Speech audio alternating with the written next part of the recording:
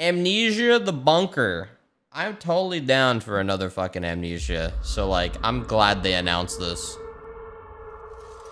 I'm very, I'm very glad they announced this.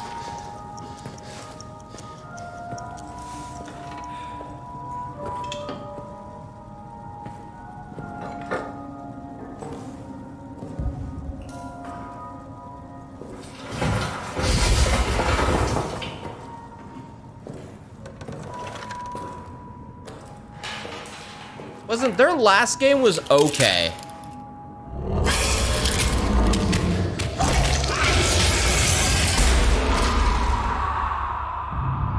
I forgot what was their last game.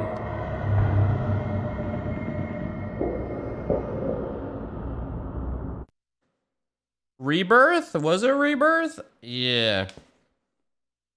I mean, you know, these guys do horror different. That's what I like about frictional games. You know, they do it different. I'm down. I'm down. Frictional, yeah.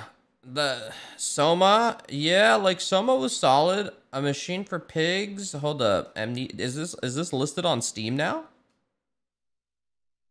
Amnesia. Oh yeah, this game was alright. I remember the beginning. Oh yeah, damn! I remember streaming this shit. Oh yeah.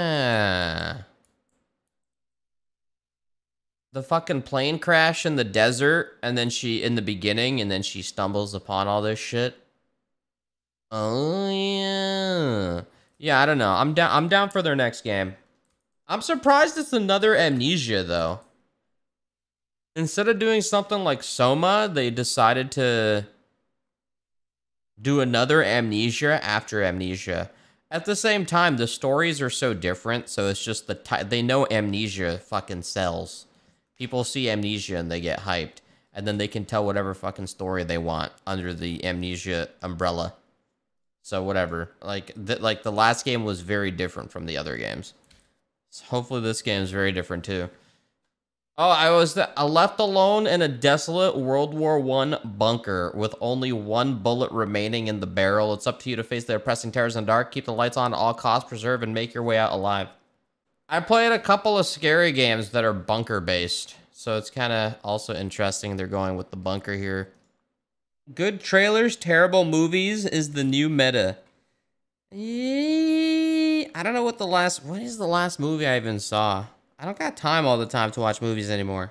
Actually, that troll movie looks like it might be worth watching.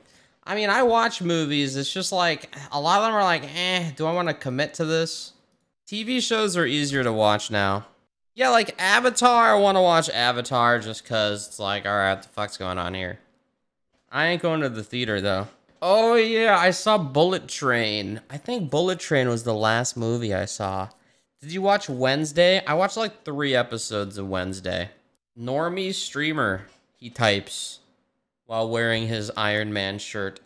I like narrating Twitch comments sometimes. Wednesday is crap.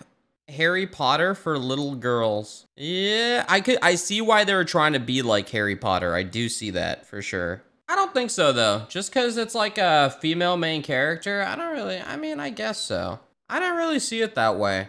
I thought it was kind of like not really I didn't really see it as a marketed towards girls a lot. I thought it was like I had decent elements that was like that really wasn't the I didn't I didn't get that vibe from it.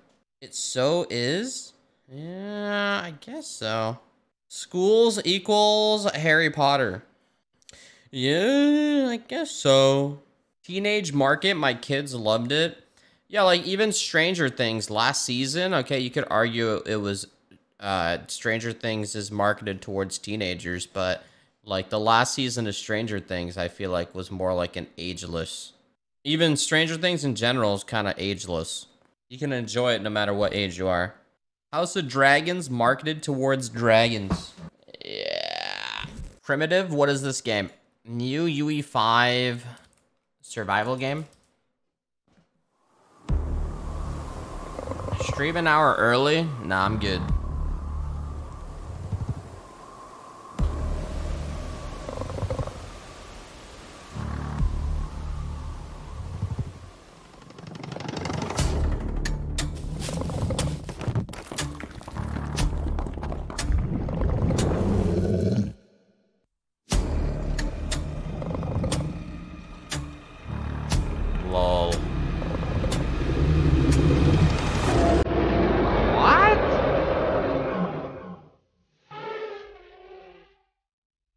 What vibes I get from this? Stomping Lands.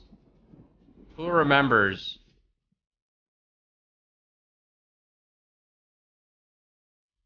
Jesus.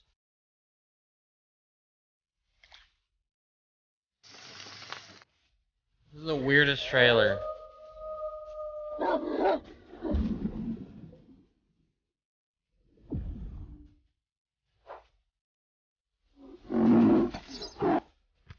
Nice.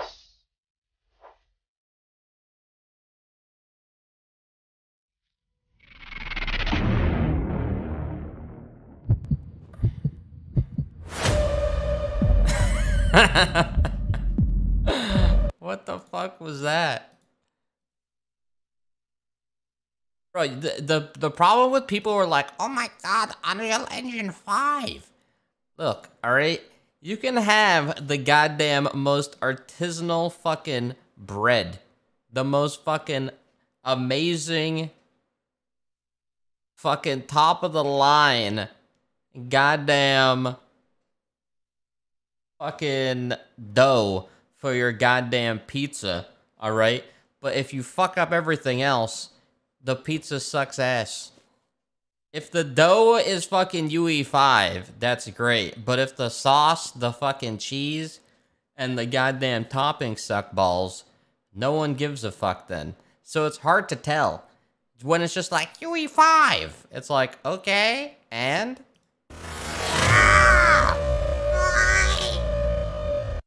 Jesus. What the hell, man? I mean, I'm down for like a primitive survival game, but yeah. Why does this genre of game somehow pull of the incredible feat of all looking so similar? True. Because it's a fucking survival game, you fuck. You're gonna eat, drink, potentially press a keybind to take a dump.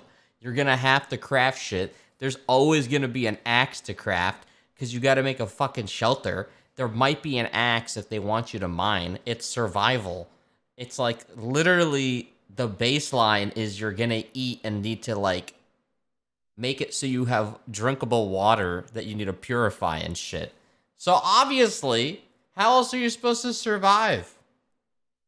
The basics, and you're gonna have to sleep, and you're gonna have a tent. Yep, this sure does look primitive. The primitive game of all time. Just by a glance, this game looks like it have 50 different kinds of bugs. Far Cry Primal, but with 3% the budget. When the saber tooth turned around, reminded me of my animation class.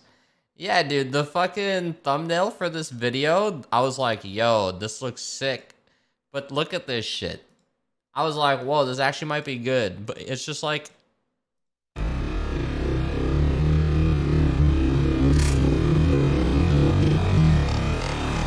Okay. It kind of does look like it's just like a game that's called Primitive and they just took all a bunch of assets from the Unreal Engine store. Diablo starting the hype train for the Game Awards announcement. Wasn't the rumor that the game, there's going to be a release date for the game? Wasn't Blizzard at the Game Awards last time? I could have swore they were.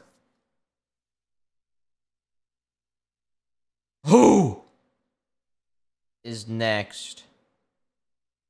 Your last chance. If I see a single microtransaction, I'm over with Blizzard forever.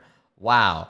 D3, OW, HOTS, and HS were all ruined by microtransactions. Only D3 recovered after huge negative feedback. Let's see if they will ruin this one also. He didn't read the blog post. Buddy, this guy didn't read the blog post. There's microtransactions in Diablo 4, bro. Motherfucker, one more, man. One more fucking time, dude. I swear to God. Cosmetic microtransactions are hard.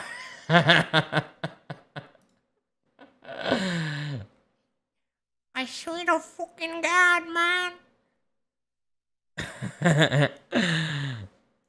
See you on release.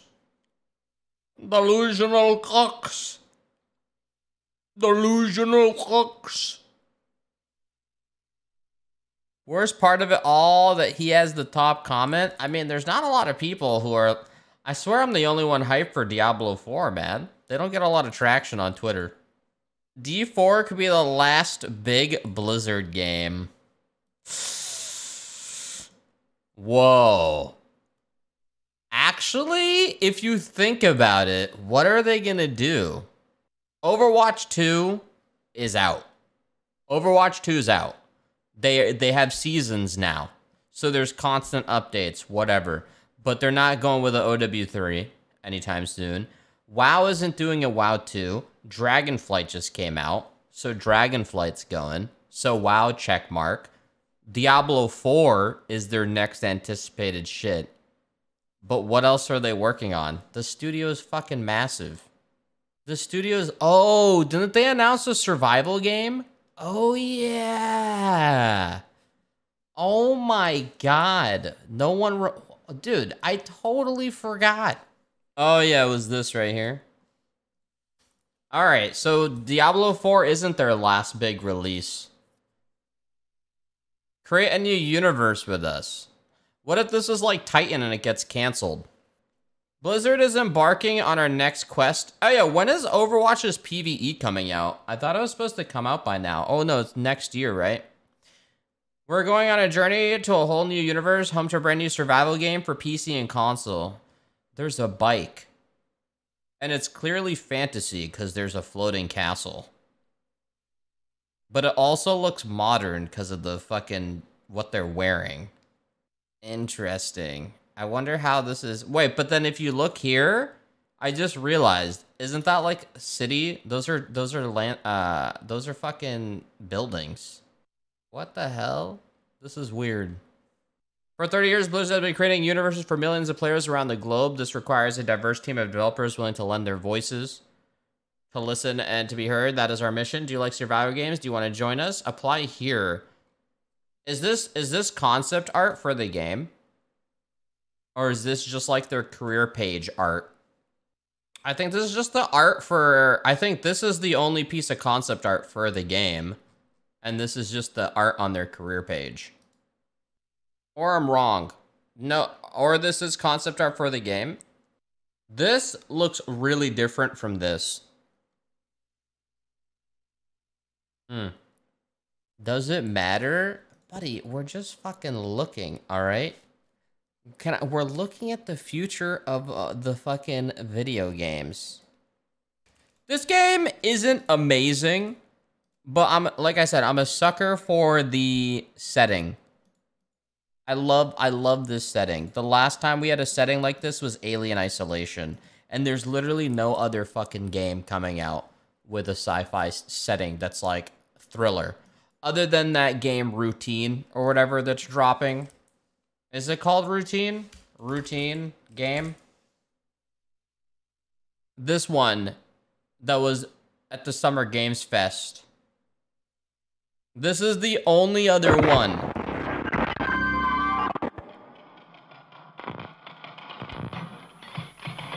But this game's weird because it was shown like years ago and then shown again. Almost like it switched developers.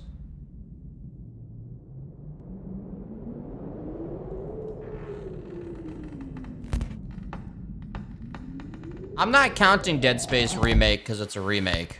I'm gonna play it.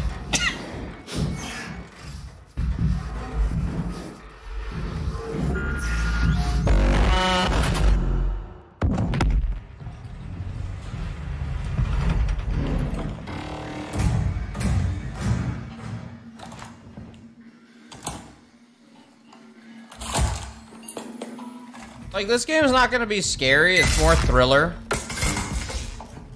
Like, it's robots. But this looks so sick.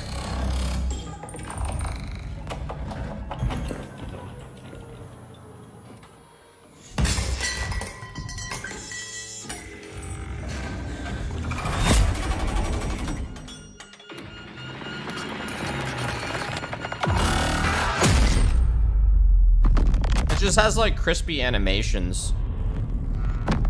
This, has that Alien Isolation vibe, so...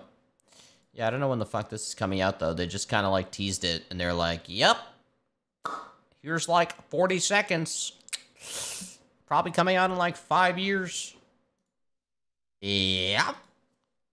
Yeah. Halo Infinite multiplayer creative director Tom French leaves 343 Industries. Yeah, no shit, because he walked into the office and he's like, what the fuck? Nothing's even happening. What are we doing? We've been working on this same Battle Pass skin fucking Spartan for two years.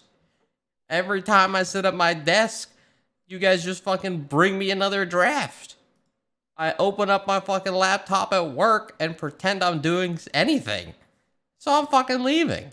After over 11 and a half years on Halo, I step out of my Spartan armor for the last time today to head off to new adventures. It's been a massive honor to have been part of a game I love so much as a player and admired so much as a developer. I couldn't be more proud of my time at 343. Holy shit. The creative director of 343. I wonder who he's gonna, what dev company's gonna pick him up. Calling it right now. Netflix, uh, aren't aren't some like FPS veterans? I forgot two or three of the people. They're working. Netflix is working on an FPS, and they tagged like some pretty notable people. I want to be surprised. You know they're gonna go. They're gonna try to go fucking ham with that shit. I know it's weird. A Netflix FPS. I know. That's really fucking weird. I forgot who's working on it. Yeah, they're making an FPS. Uh, fuck, who? There's like, they pulled people. I think some guy, one of the main dudes from Overwatch, I think, is working on it. I know, it's wicked random. When you type in Netflix FPS, it thinks your fucking video player's lagging. First person shooter. Do you play with a remote control? I don't know, man. I guess so. I think they're just gonna have a gaming division. I mean, they like making money. Um, I think they're just trying to like, you know, get into different things. Because they're always looking to expand, right? So I guess gaming is the next thing. Yo, Maximus with the three. They're probably like, all these other motherfuckers are making streaming. They're trying to stream video games. Well, we stream videos, so why not stream video games? And then we'll fucking stream some other shit. And then they're gonna have a Netflix streaming app. Like when I say streaming app, like a fucking Netflix Twitch. I want to be surprised. They need to keep on growing.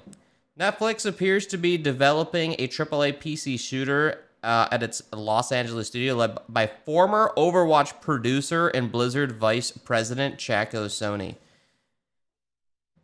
You know, you wouldn't think you wouldn't think this motherfucker would just join some random ass company. You know? So like I think that's pretty legitimate. As part of Mobile Gamer.biz, the aptly named Netflix Game Studio is looking for a game director with experience in shooters to work on a brand new AAA PC game. Akin to Overwatch, it will seemingly be a live service game as Netflix asks asks for extensive experience in this department. In a similar vein, the candidate must have a deep understanding of highly engaging content and how to deliver it, and be deeply passionate about social system and gameplay, both cooperative and competitive. Damn, chat, you guys should apply. The job listing also demands the future director to develop a world character and narrative that are worthy of a Netflix film or TV series and build the game within Unreal Engine. What was that game back in the day? Uh, that had a TV show, the MMO. It was like that weird fucking alien shit. Didn't it start with a D? Defiance? Defiance. It was like an MMO and it like changed with the TV show or something. What happened to Mike Morhaime and his new company? Wait, did Mike Morhaime join a new company? I thought he just uh, didn't he retire? I thought he left Blizzard and Oh yeah, Dreamhaven. Oh yeah. No, there's also. Oh, yeah. Motherfucker actually made a new company. I wonder, though. So, why Blizzard's co founder founded his own company, and then Netflix picks up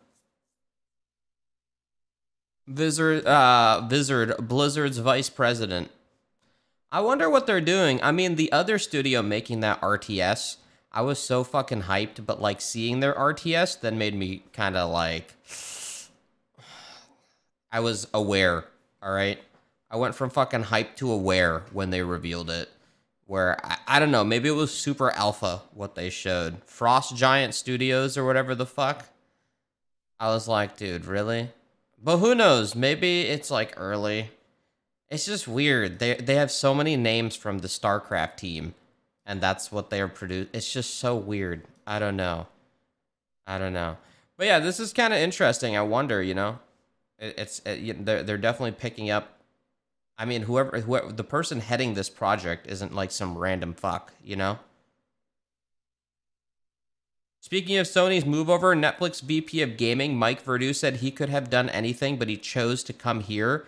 You don't get people like that coming to your organization to build the next big thing in gaming unless there's a sense that we're really in it for the long haul. Yeah, I think the weirdest thing is, is if this game's going to be like a Netflix exclusive FPS. So, like, I hope you're, uh, that implies it's going to be some sort of cloud gaming. Does it not? and you're gonna have to, a Netflix subscription to play it. So I hope they that's gonna be a hurdle. it's going to be riddled with microtransactions. Yeah, maybe. Who knows? They already have people on the Netflix subscription, so hypothetically, they wouldn't need to do that. They already kind of like you already got to pay a subscription to play it. So the only thing they're going to add is maybe like skin microtransactions to add on. Maybe. I don't know. It's interesting though. See, uh, Sifu, the popular martial arts game released earlier this year, is being adapted into a live action film with John Wick creator Derek Kolstad. Hi. I will say that's kind of weird because Sifu's lore wasn't some crazy shit. Sifu was a cool game, but it was literally just a dude. Wait, what was the. Wasn't he just killing a bunch of, like, high important dudes? Was he avenging someone in Sifu? What was the story? I don't remember. You aged when you died. It was a story about a revenge for his master. Or did he avenge his family? So the guy who created John Wick about avenging a dog's death is now Okay, so this is basically John Wick fully focused on martial arts. Is basically where we're at, which is more interesting than fucking guns. What they need to do is he needs to make it so the main character is uh Donnie Yen. Donnie Yen or one of the one of the dudes from the raid. That or one of those actors. I know the choreographer. Or or the guy from uh what the other movies, Ong Bak. They do Ong Bak or the choreographer from uh the raid. Yeah, Tony Jaa, maybe. I don't know though, because this is gonna be like a straight up fucking Hollywood movie, so there he's gonna want like a big name. Tony Jaa's like he's known if you kind of watch his shit. Not he's not a household name.